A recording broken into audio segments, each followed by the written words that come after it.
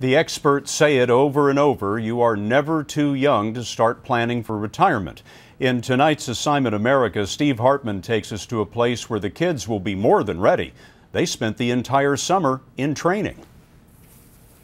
Go to Lakeside, Ohio, and you'll generally have no problem finding an empty court or an open swing.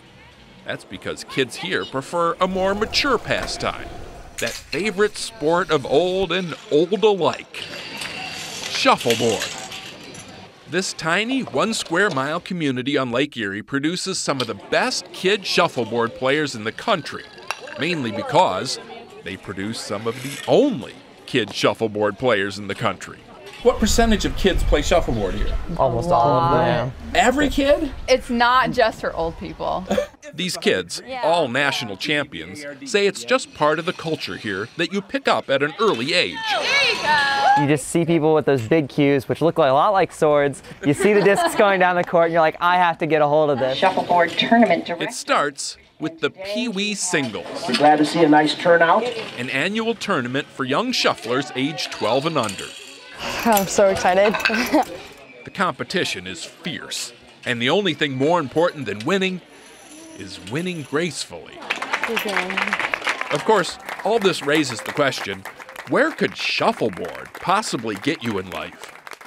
You'd be surprised. For a brief shining moment in the summer of 73, I was the Tiger Woods of shuffleboard, the Lakeside 12 and under champion. Unfortunately, I didn't stick with it. And today there's not a toddler in Lakeside who couldn't whip the pants off me. But at the same time, there's not an award or trophy I've won since that means any more to me than this one. Because, as these kids can attest, it makes you stand out. I put all kinds of shuffleboard things on my college applications. Um, Did you get in anywhere? yeah, I got in. I got into Harvard. Um, that's where I'm going in the fall.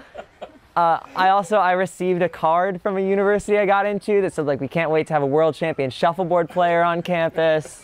In an age of bullying and conformity, it's kind of nice to know there's still a place where being uncool is all the rage. Steve Hartman, CBS News, Lakeside, Ohio.